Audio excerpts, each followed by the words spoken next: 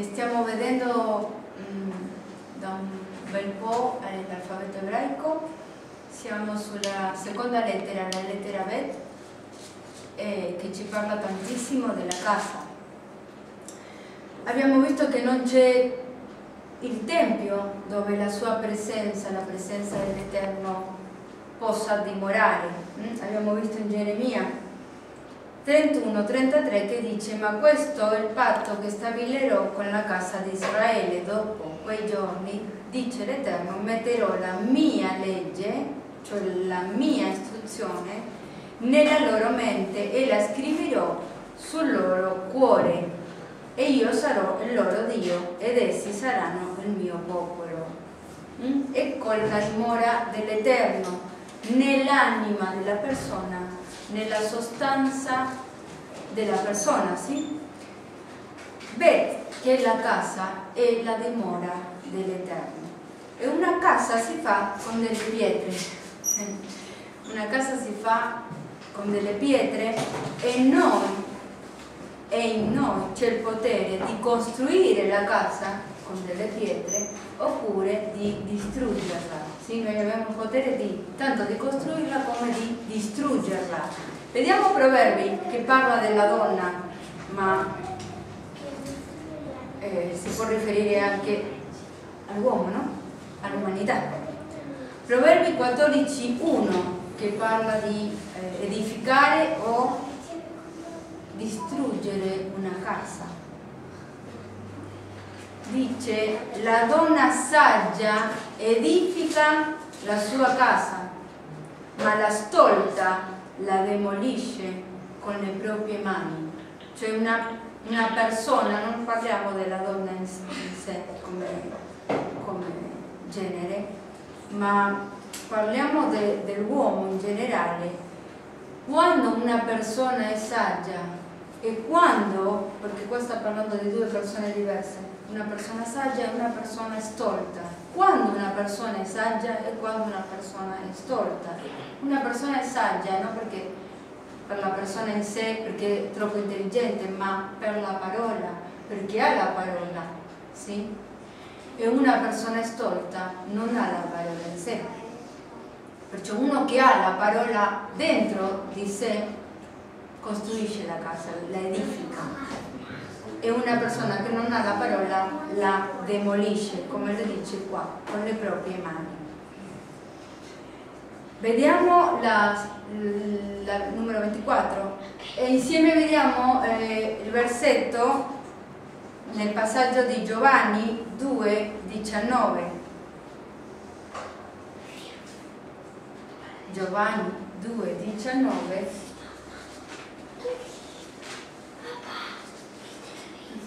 parlando del Tempio de, de, come struttura. 2.19 Gesù rispose e disse loro, distruggete questo Tempio e in tre giorni io lo ricostruirò. In tre giorni. Allora i, i, giudei dissero, ci sono voluti 46 anni per edificare questo Tempio e tu lo ricostruiresti in tre giorni. Ma egli parlava del tempio del suo corpo. Mm? L'uomo aveva costruito il tempio con delle pietre. Sì? Infatti dice 46 anni le è costato all'uomo costruire quel tempio. Sì? I numeri nella parola non sono scritti a caso e non sono nominati per caso. I numeri nella parola hanno molta, molta rilevanza, molta importanza. Ma il numero 46, cos'è? Cosa significa il numero 46? A cosa, in particolare in questo versetto, a cosa si riferisce? Parla di anni, ma il 46 corrisponde alla quantità di cromosomi. L'uomo, infatti, è l'unico essere vivente ad avere 46 cromosomi.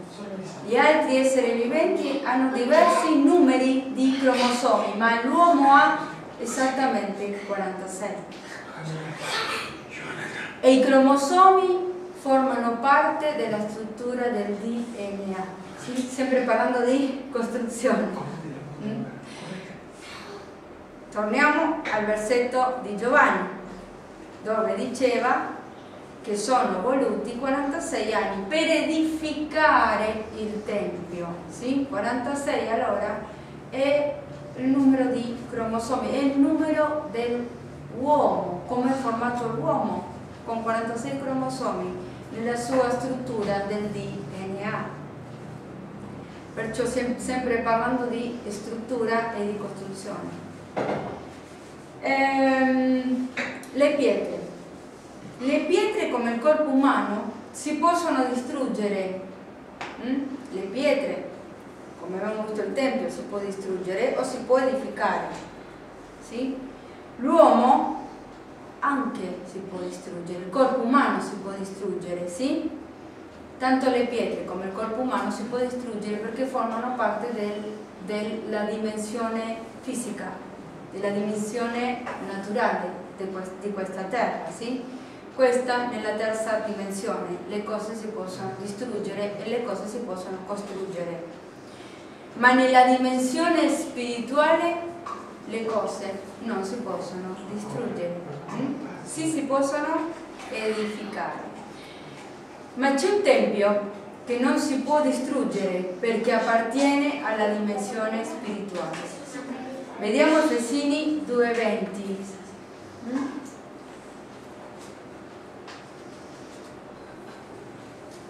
Lo stesso Yeshua ha parlato qua in Giovanni, come abbiamo letto già, che dice, che ha detto, che anche se quel tempio era costruito in 46 anni, lui poteva, eh, si poteva distruggere e lui poteva invece ricostruirlo in tre giorni. Perché? Perché sta parlando nell'area spirituale. Efesini 2,20 dice edificati sul fondamento degli apostoli e dei profeti, essendo Gesù Cristo stesso la pietra angolare. Mm? Parlando di pietre, parlando di costruzione, su cui tutto l'edificio ben collegato cresce per essere un tempio santo nel Signore, nel quale anche voi siete insieme edificati per essere una dimora di Dio nello Spirito. Mm? Dice che anche noi siamo edificati per essere una dimora di Dio nello Spirito. Ecco, possiamo essere un Tempio santo nel Signore e una dimora di Dio nello Spirito. Vediamo prima Corinzi 6, 19 parlando della casa, Bet, parlando del Tempio, e viene edificata con delle pietre. Ci sono pietre eh, fisiche, come abbiamo visto, Giovanni 2,19, e ci sono pietre spirituali.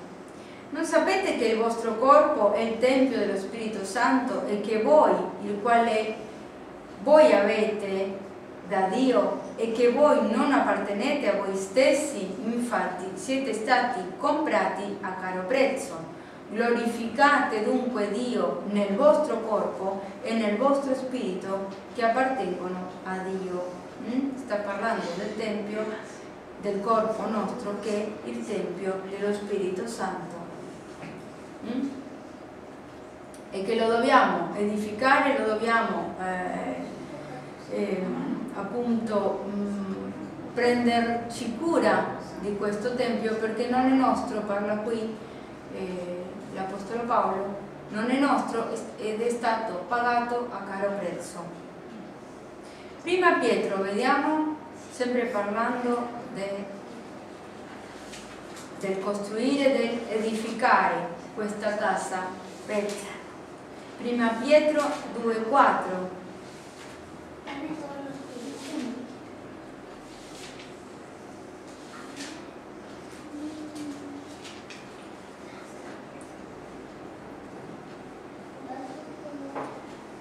Seguitemi qui interessantissimo, accostandovi a lui come a pietra vivente, rigettata dagli uomini, ma eletta e preziosa davanti a Dio. Anche voi come pietre viventi, non solo lui pietra vivente, anche noi pietre viventi, siete edificati per essere una bet, una casa spirituale, un sacerdozio santo per offrire sacrifici spirituali graditi a Dio per mezzo di Gesù Cristo. Nella scrittura si legge infatti, ecco io pongo in Sion una pietra angolare, eletta, preziosa, e chi crede in essa non sarà fatto svergognato. Wow, quando ho cominciato a parlare di pietre viventi, io sono andata un po' più in là, in profondità, a cercarle. Ci sono state, ci sono nominate delle pietre in Ezechiele, ora lo vediamo, parlando dell'eternità passata. Mm? Vediamo Ezechiele 28, 14, pietre nell'eternità passata. Ricordatevi che noi siamo dentro una parentesi in questa eternità, sì? Io penso che questa parentesi serve al Signore per capire i nostri cuori, per, per eh, appunto sapere di noi se lo cerchiamo, se eh, lo amiamo veramente, eh, così come ha messo alla prova a, a, Lucifero, così come ha messo alla prova noi nel giardino dell'Eden. No? Siamo qui, ognuno abbiamo l'opportunità di scegliere, hm? di essere delle pecore oppure delle capre. Ezechiele 28,14 dice tu eri un cherubino unto. Cosa era Lucifero? Un cherubino unto ed era un protettore. Lui era un protettore. Io ti avevo posto sul monte santo di Dio e cosa faceva il cherubino? Camminava in mezzo a pietre di fuoco. Wow. Tu eri perfetto nelle tue vie dal giorno in cui fosti creato, finché non si trovò in te la perversità. Mm? Il Signore non ha a nessuno, a nessuna della sua creazione insieme a Lui obbligato, insieme a Lui come dei robot. No? Io vi ho creato, voi mi dovete amare, sì o sì? No, il Signore questo non lo accetta, Lui vuole che siamo accanto a Lui e che lo amiamo per la nostra volontà. 16. Per l'abbondanza del tuo commercio ti sei riempito di violenza e hai peccato.